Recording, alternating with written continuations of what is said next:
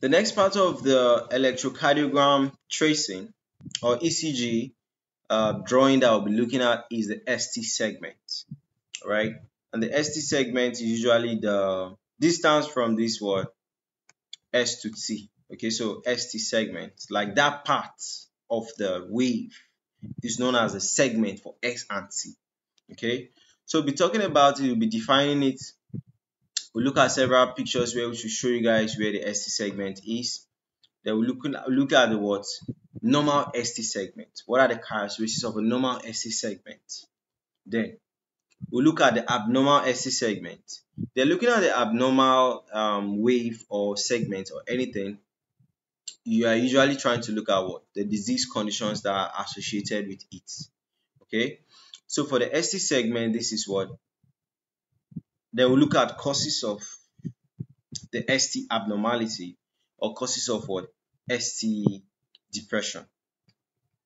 Alright, so for the ST segment, um, we said that what the ST segment in electrocardiography represent the period of ventricular repolarization.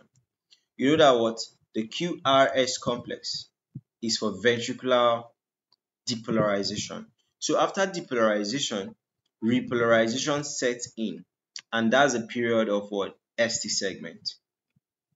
Alright, so and repolarization is more of like the recovery phase of the ventricular muscle cells after contraction. So that small period of relaxation is where the ST segment is trying to show off.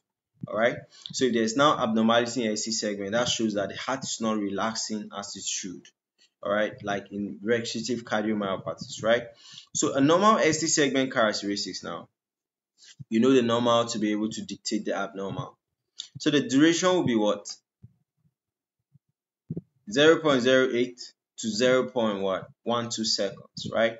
Morphology is um it could be isoelectric, that's flat or slightly elevated, but still less than what one millimeters.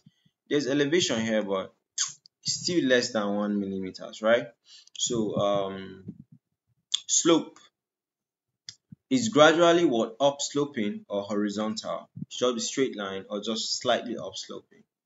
So abnormal ones now, which is usually the big deal, right? So if you have an ST segment not being like the typical ST segment, what does it indicate?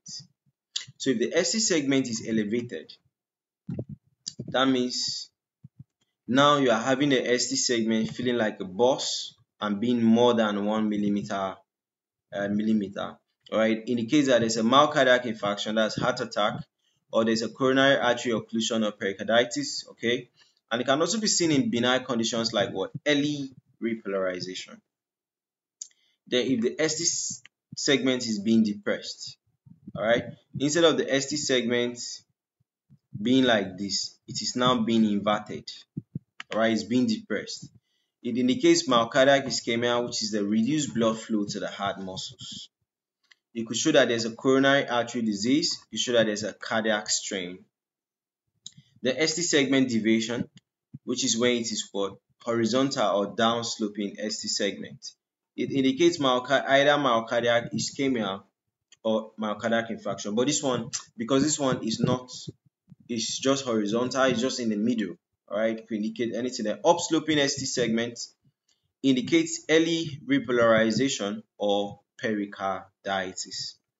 Then talking about the causes of ST segment abnormalities, that you are bringing all of them together. Either there's an elevation, depression, or there's a deviation. All right, we are bringing all of them together.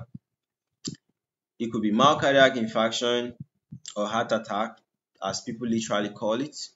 It could be coronary artery disease. It could be cardiac strain. It could be pericarditis. It could be electrolyte imbalance. It could be what?